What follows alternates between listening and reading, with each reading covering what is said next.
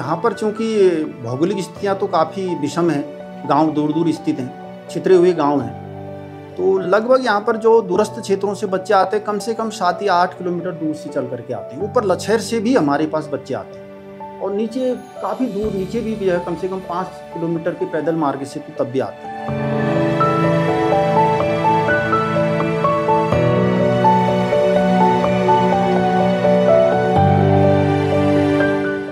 मेरा गाँव सात किलोमीटर दूर है और मुझे डेढ़ घंटा अपने इस घर से स्कूल आने में लगता है। मैं अपने दोस्तों के साथ स्कूल आता हूँ और स्कूल आके हम बहुत थक जाते हैं। कभी प्रेयर भी हो जाती है स्कूल आने टाइम कभी नहीं कभी को, कभी लिफ्ट भी मिल जाती है, कभी नहीं भी मिलती मेरे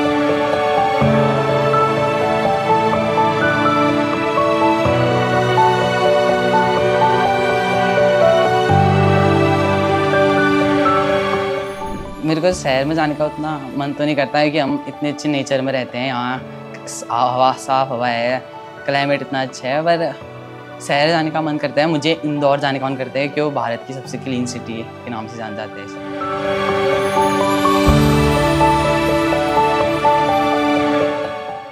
होकर एक पुलिस ऑफिसर बनना चाहती हूँ, क्योंकि मेरे चाचा पुलिस ऑफिसर हैं और वो बहुत मेहनत करते हैं। मुझे उनको देख के अच्छा लगता है, इसलिए मुझे पुलिस ऑफिसर बनना बेल्ट का जो है कि एकमात्र यही इंटर कॉलेज है। इसलिए यहाँ पर जो बच्चे आ रहे हैं तो बड़ी अपेक्षा लेकर के आते हैं। गार्जियनों की भी अपेक्षा रहती है। और इस विद्यालय से पढ़े हुए जो बच्चे हैं, अब वर्तमान में तो लगभग बच्चे हर क्षेत्र में जा रहे हैं। काफ़ी पहले बच्चे जो हैं मुख्य रूप से फौज की ही नौकरी मुख्य हुआ करती थी, लेकिन वर्तमान में मुझे जो सूचना मिली है इस बीच यहाँ पर तो कुछ बच्चे हमारे जो हैं अन्य फ़ील्ड में सिविल सर्विसेज़ की तरफ़ भी जा रहे हैं, कोई इंजीनियरिंग के फ़ील्ड में जा रहा है। इस प्रकार से बच्चों का रुझान हर फ़ील्ड में, हर फ़ील्ड में जा रहे हैं। और रही बात है बच्चों की प्रगति की तो यहाँ पर हमारे यहाँ के बच्चे हम लगभग हर प्रकार के क्रियाकलापों में बच्चों का भाग हम कराते हैं।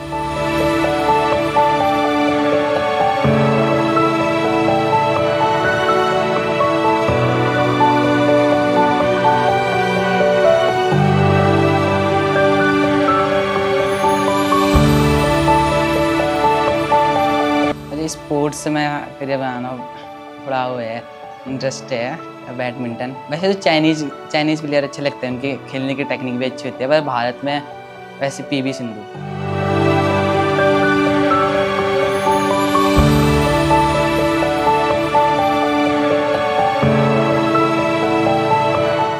मैं बड़ी होकर टीचर बनना चाहती हूँ, क्योंकि हमारे यहाँ बच्चे हैं मतलब उनका ज़्यादा पढ़ाई में मन नहीं चाहता है तो मैं ये चाहती हूँ कि मैं बड़ी कोई टीचर बनूँ और ट्यूशन क्लासेस भी शुरू करूँ और उनको एकदम प्यार से पढ़ाऊँ जैसे हमारे टीचर हमें पढ़ाते हैं।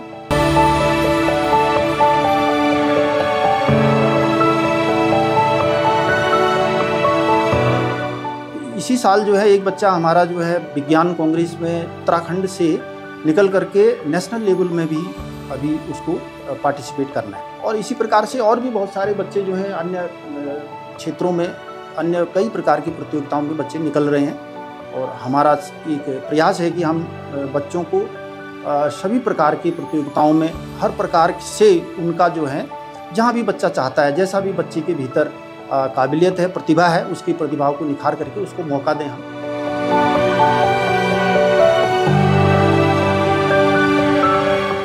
बच्चों को एक तो कंप्यूटर शिक्षा देने की कोशिश कर रहे हैं स्मार्ट बोर्ड के माध्यम से हम नेट का प्रयोग करके इंटरनेट का प्रयोग करके भी उनको बहुत सारी वीडियो जैसे इंस्पायरिंग वीडियो, शैक्षिक वीडियोज़ हम उनको दिखाते हैं। और साथ ही साथ जो है, जो आज के समय की जो आवश्यकताएँ हैं जिससे कि बच्चा, हमारा पिछड़े जो आजकल एक शिक्षा के नाम पर आधुनिक शिक्षा जिसको कह लीजिए, या कई प्रकार की जो सुविधा संपन्न स्कूल जो चले हुए हैं, वहाँ पर जिस प्रकार की शिक्षा दी जा रही है तो उसके लिए हम अपने बच्चों को तैयार कर रहे हैं और कई प्रकार के नवाचार भी यहाँ पर किए जाते हैं, जैसे ये दीवार पत्रिका भी हम लोग यहाँ पर निकाल रहे हैं। प्रतिवर्ष हम दीवार पत्रिका निकालते हैं। इसमें हमारे विद्यालय के ही एक अध्यापक हैं हमारे अंग्रेज़ी के प्रवक्ता श्री चिंतामणि जोशी जी। वो अन्य अध्यापकों के सहयोग से, बच्चों के सहयोग से हमने यहाँ पर जो है लगातार एक दीवार पत्रिका निकालते हैं। तो बच्चों के भीतर जो प्रतिभाएँ हैं, उसको निखारने के लिए हर प्रकार का प्रयास हमारे द्वारा किया जा रहा है।